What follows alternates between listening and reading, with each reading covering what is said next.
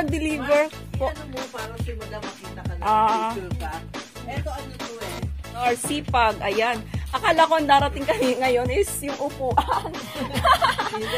ano yan, nagulat ako. Sabi ko, hindi ako prepare ha. Ayan, dumating na now lang. Ayan.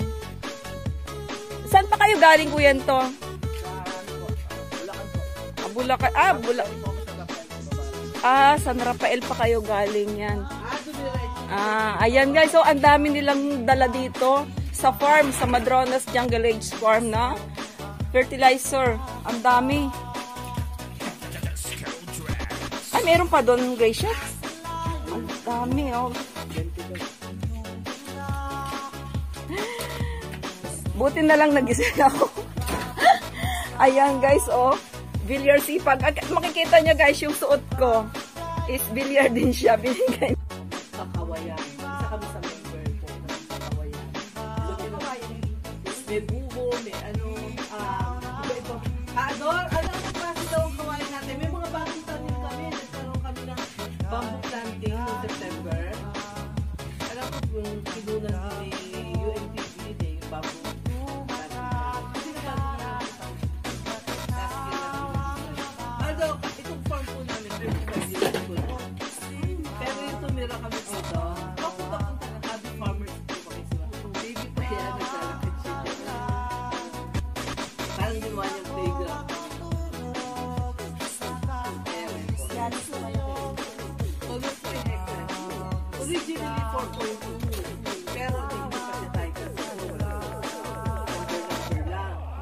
Pinapatitle under ni GMA, ah, nagkapalit-palit ang mga numero. So, ang nangyari, para wala nang ano, pinatian na lang namin may hawak. Akala ko si Ian narating. Pero may hawak na numero to.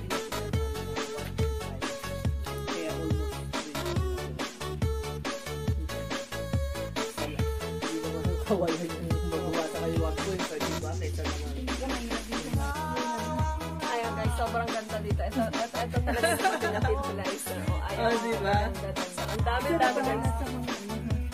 naman Pwede, pwede, pwede talaga. Tapos ninyo tanim yan. Ayun guys, nakikita niyo yun. Isang box na yan. Mga itatanim yan. Ayan, hi ka kuya. Ayan, extra ka na. Dala magselos kuya ha. Ayan. Ay, explain nyo kay ano, kay habang nag-explain si Ma'am Yoli. Si Ma'am Yoli. Tama naman ako. Ayaw na ako sa amin. Ayan o kuya.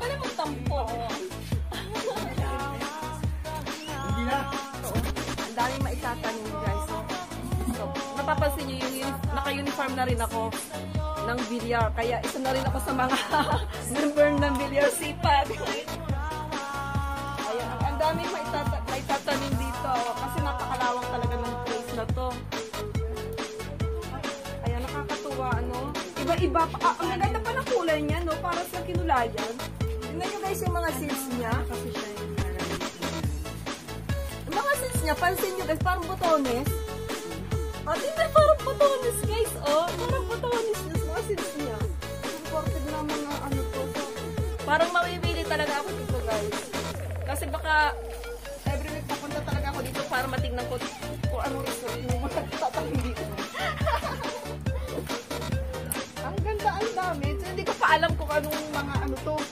Gulay? Gulay ba to? Gulay kaya ito? Puro gulay po yun. Ah, puro. Eh, Eh, ito ang kilala ko upo. Ayan. Pipino. ah, Cucumber. ay, oo. Batola. Oo. Batola. So, abangan nyo guys. Baka isa rin ako sa mga magtatanim nito. Hindi naman siguro isa kakasama sa mga Oo. Ay, ang papakita ko sa inyo guys ha, kung ano yung buto ng pipino. Ayan. Yung pipino guys, kita nyo, kulay pink. Ito. Ito yung pipino. Okay. Ito yung pipino guys, oh, pink.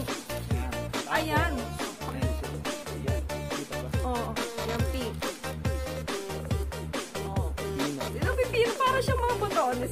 Ang Next na. is patola. Oh, patola. Patola. Patola, patola. Ito, alam ko patola. Oh. Next natin ay Masarap yung patola.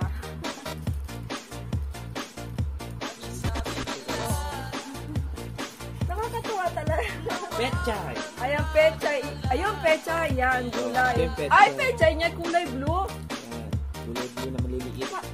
Siyang candy.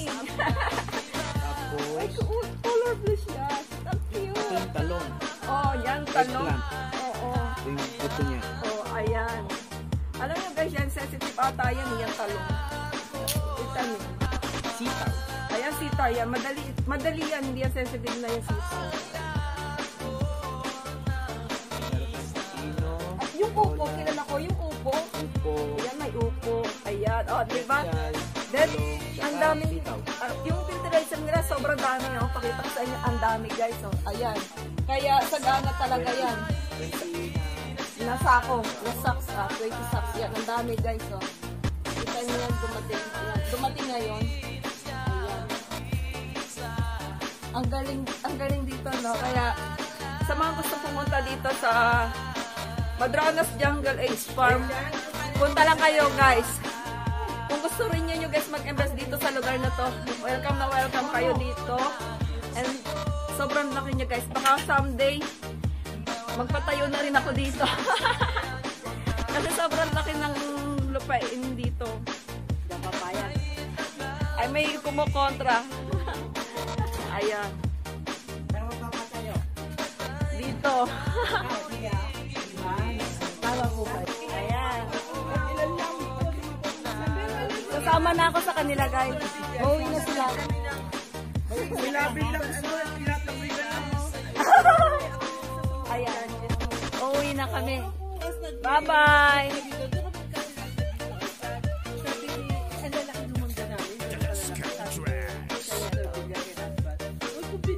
Billiard.